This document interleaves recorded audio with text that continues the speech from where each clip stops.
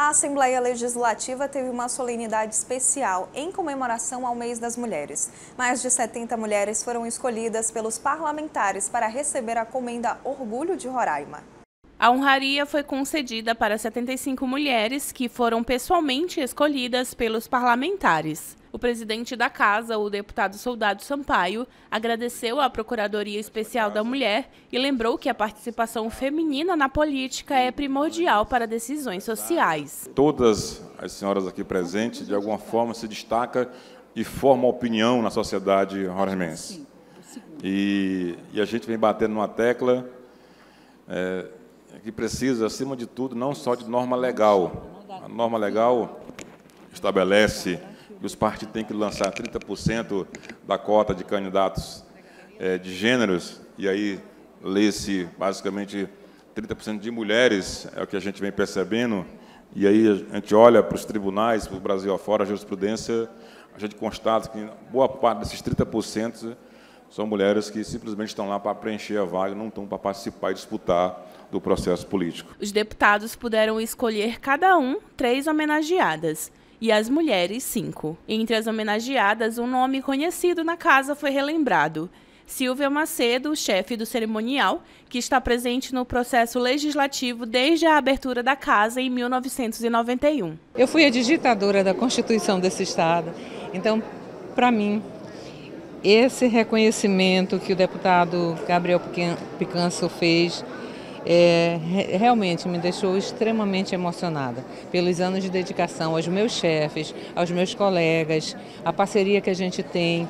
Então, é de suma importância para mim. Quando surgiu o meu nome, eu disse: Meu Deus, eu fiquei tão assim emocionada na hora também.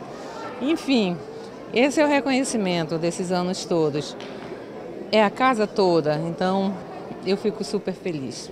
Foi homenageada também a fisioterapeuta Caroline Queiroz, que no ano passado se tornou uma sobrevivente da violência doméstica e hoje apoia outras mulheres que passam por situações semelhantes. É uma honra enorme né, é, estar aqui sendo homenageada hoje como orgulho dessa terra. Eu que sou roraimense, me sinto especialmente feliz e ser orgulho de Roraima através dessa casa, que é a casa do povo, é a casa da nossa voz, trazendo nesse, nesse mês tão importante para as mulheres, né, é, nos dando esse espaço, falando sobre a importância das mulheres, não só na política, mas do contexto da mulher, do, do gênero feminino, na importância para a sociedade em diversos aspectos, uma honra enorme.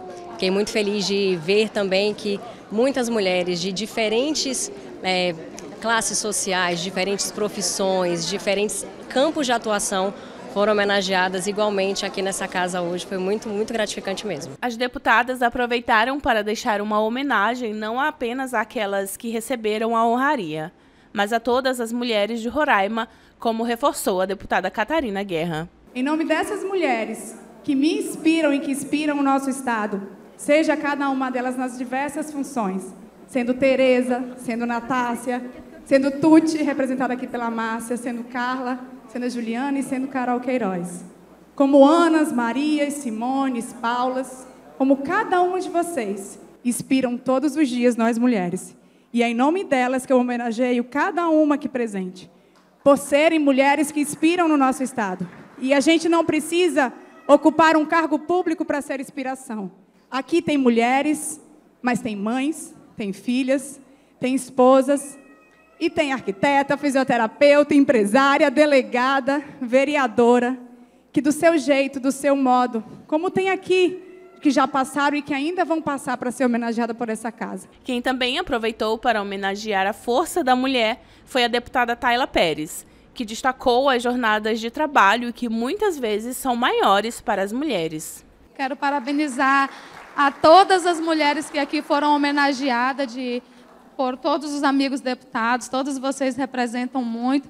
E nós todos aqui, por unanimidade, escolhemos o nome de todos vocês e temos muito orgulho de poder estar nesse dia, podendo homenagear e parabenizar todas vocês, mulheres. A deputada Joilma Teodora, procuradora especial da mulher, aproveitou o espaço para relembrar que, mesmo com todas as homenagens, ainda é preciso lutar, principalmente contra todos os tipos de violência que têm altos índices em Roraima. Os índices de violência têm aumentado, infelizmente, Isso me deixa muito triste, porque todos os dias, é, deputado Jorge Everton, quando a gente abre o jornal, a primeira coisa que a gente vê hoje é uma mulher violentada, é uma criança violentada.